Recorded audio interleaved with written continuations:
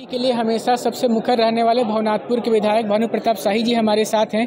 भानु जी झामुमो सरकार ने जो वादा किया था 1932 का, वो तो आज यहाँ से विधेयक पास कर दिया और पाले अब डाल दिए हैं केंद्र में, यानी कि आपके भाजपा पार्टी के हाथ में। तो अब क्या केंद्र इसे वहाँ पर लागू करने में सहयोग करेगी? देखिए, ये नवी अनुसूची का विषय ही नहीं है। हेमंत सोरेन जी ने देखा कि अब हम जेल जा सकते हैं। हमसे गलती हुई है। हमसे चूक हुई है। हम पूरी तरह से घिर गए हैं। इसलिए दिखावा के लिए ये 1932 का खतियान विशेष सत्र बुला करके और वो भी नवी अनुसूची के लिए इन्होंने भेजने का काम किया। है ये भी तो हो सकता है कि जैसे कोर्ट में खारिज हो जाएगा ये बातें उठ रही थी वो खुद सदन में कह चुके थे कि कोर्ट में जाने पर ये खारिज हो जाएगा। तो उससे बचने के लिए नवी अनुसूची का रास्ता अख्तियार किए हों? नहीं नवी अनुसूची का रास्ता 2013 से पहले हो सकता था। 2013 के बाद नवी अनुसूची की भी समीक्षा, वैसे विषय जिसमें कोर्ट इन्वॉल्व कभी हुआ हो, वैसे विषय जो लोकसभा और विधानसभा में कभी डिस्कस में लाया गया हो, उसकी समीक्षा भी, न्यायिक समीक्षा की जा सकती है। यह सुप्रीम कोर्ट के जजमेंट आने के बाद अब इसको कोई कवर नहीं कर सकता है। चूँकि 2002 में ही उच्च न्यायालय, रांची ने पाँच जजों का बेंच ने इस पर अपना मंतव्य दिया है और उन्होंने डायरेक्शन भी दिया है। तो ये नवी अनुसूची में का सब्जेक्ट नहीं था। ये मुख्यमंत्री ने क्षेत्र के जनता को प्रदेश के जनता को गुमराह करने के लिए झामुमो आरोप लगाती रही है कि तत्कालीन जो भाजपा सरकार थी उसने अपना पक्ष मजबूती से नहीं रखा। खुद झामुमो के प्रवक्ता कह रहे हैं कि अब इस बार मजबूती से पक्ष रखेंगे और इस बार कोर्ट से ये मामला निरस्त नहीं होगा। तो इस पर क्या कहना चाहेंगे? देखिए होना यही चाहिए था। इनको कोर्ट जाना चाहिए था। जो हाई कोर्ट का 2002 का जजमेंट है उसके खिलाफ में आप जा सकते थे। राज्य सरकार को यह अधिकार है कि वो 20 साल 50 साल के बाद भी कोर्ट में जा करके उसको संशोधन के लिए या उसमें अपना पक्ष रखते हुए न्यायालय से न्याय का उम्मीद कर सकता है। वही करके उनको ये बात पास कराना चाहिए था।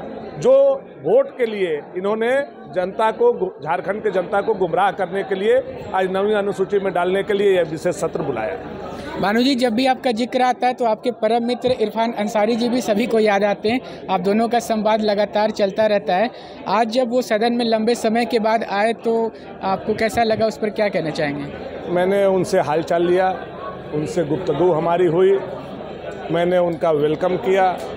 और मैं जानता हूँ कि कांग्रेस के द्वारा, जयमंगल जी के द्वारा, हेमंत सोरेन जी के द्वारा उनको फंसाया गया है। उसमें थोड़ा आलमगीर आलम साहब का भी हाथ है। और ये बात से वो भी सहमत है। वो यहाँ आए हैं। प्रताड़ित लोग हैं बेचारे तीनों। एक अल्पसंख्यक के नेता हैं, एक क्रिश्चियन के नेता हैं, एक आदिवासी के नेता हैं। तीनों को इन लोगों ने फंसाने का काम किया, जेल भिजवाने का काम किया है। तो वैसे लोगों के साथ हम लोगों की भावना खड़ी है और हम लोग चाहते हैं कि आने वाला समय में उनको न्याय मिले। षड्यंत्र जिन लोगों ने किया है, वो षड्यंत्र का पर्दाफाश हो और हमको यहाँ उन, वो लोग जब यहाँ आए तो ये बात देख करके दुख हुआ कि जैसे हेमंत सोरेन जी को I love you Hemant Soren, कम सुन 17 नवंबर 2022 उसी तरह से भविष्य में ईडी ने भी नोटिस लिया है तो हो सकता है इरफान जी को भी नोटिस एक अंतिम सवाल आपसे कि लगातार आरोप लगते रहे कि केंद्रीय एजेंसियाँ भाजपा के सहारे पे काम करती है।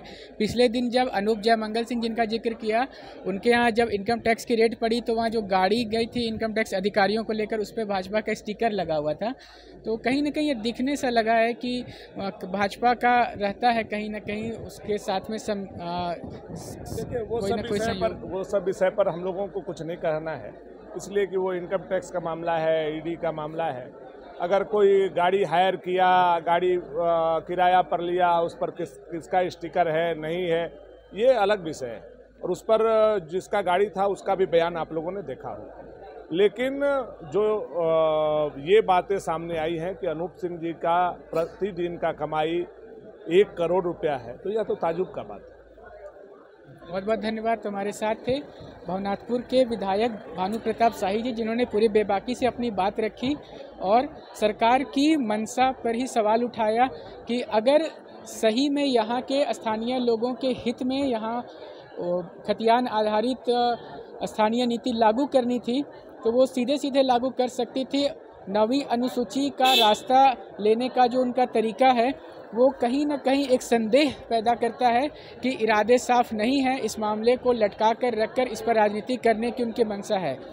अपने कैमरा सहयोगी रिक्की राज के साथ विधानसभा से मैं भी अदत पिंटू, फ़िलहाल इतना ही।